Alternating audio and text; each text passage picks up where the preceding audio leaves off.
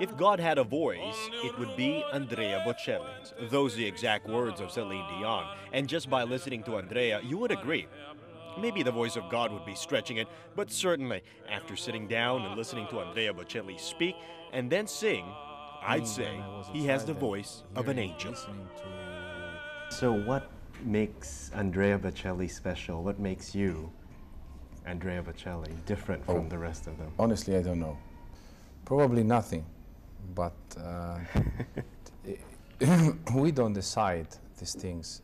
It's always the, the audience uh, deciding because we sing for them, only for them. So, you don't think you're any special from the rest of the uh, opera singers out there?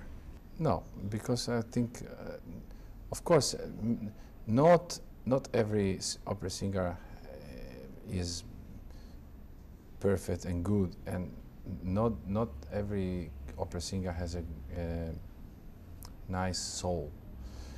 But there are, and uh, it, I repeat, it's impossible to say why uh, I had a success in or the world. Sometimes I ask, I ask this to myself, but there is not an answer.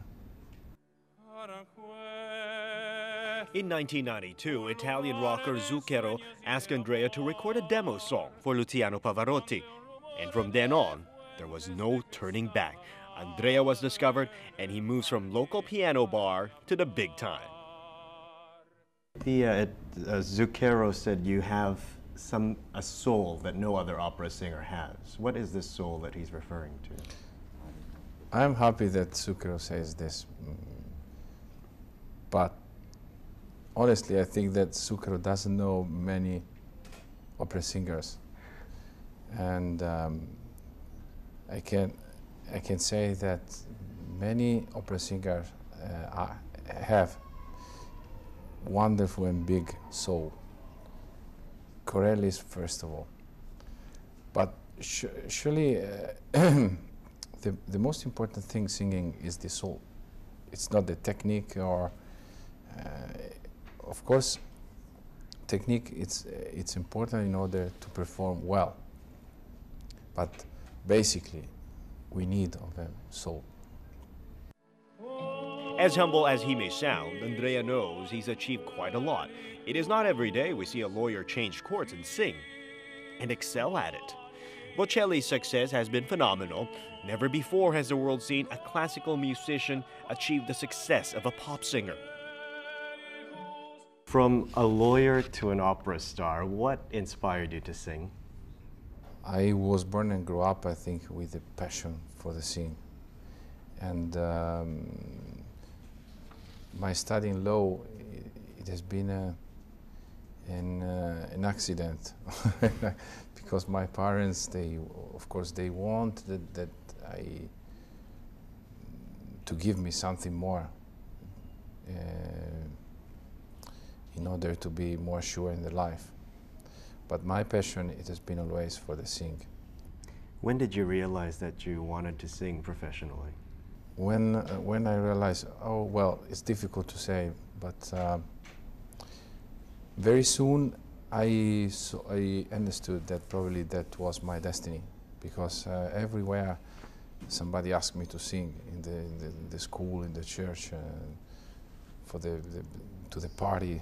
and uh, probably w- already when I was a child, I thought um, to sing it's my destiny.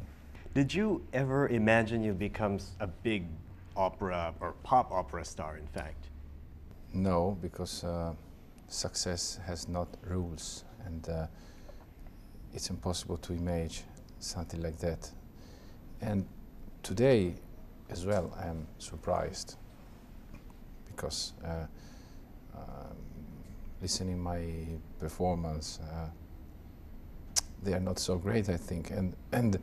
um, I'm always so surprised uh, for the affection of the people, but of course I'm very happy.